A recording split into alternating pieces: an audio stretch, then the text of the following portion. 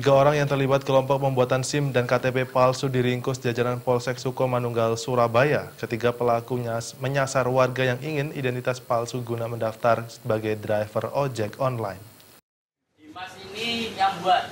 Ketiga pelaku pemalsu SIM dan KTP elektronik tersebut diamankan unit Reskrim Polsek Sukomanunggal, Surabaya. Ketiganya adalah Fikri Adi 31 tahun warga Jalan Demangan, Tropodo Sidoarjo, Sanuri 34 tahun warga Kutisari Indah Utara Surabaya, dan Dimas Prayogi 21 tahun warga Jalan Kedung Rejo Waru Sidoarjo. Pelaku Fikri Adi dan Sanuri bertugas sebagai calo atau pencari warga yang butuh SIM dan KTP palsu. Sementara Dimas berperan sebagai desainer sekaligus pencetak KTP dan SIM palsu sesuai pesanan.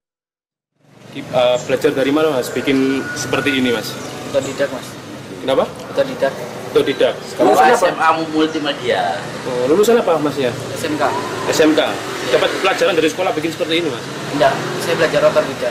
Saya cuma belajar beberapa tools-toolsnya gitu. Nonton lihat YouTube itu atau enggak mas? Ya bisa. Bisa. Terus bahan-bahannya dapat dari mana? Kalau bahannya saya cuma stiker aja, nggak sampai jadi bentuk Dalam aksinya, para pelaku membandrol tarif antara 400.000 hingga 1 juta rupiah untuk satu user KTP atau SIM palsu. Dalam mencetak SIM atau KTP palsu, pelaku Dimas mengacak nomor induk kependudukan atau NIK. Saat kita melakukan operasi cipta kondisi, ada anggota yang mencurigai suatu identitas berupa SIM. Awalnya berupa SIM. Kemudian kita tidak lanjuti, ternyata mengembang berkaitan masalah ini palsu, gitu. Pembuatannya palsu. Kemudian kita kembangkan, ternyata betul. Kita melakukan penangkapan awal pada Fikri, Fikri kemudian eh, kepada pembuatnya siapa, ternyata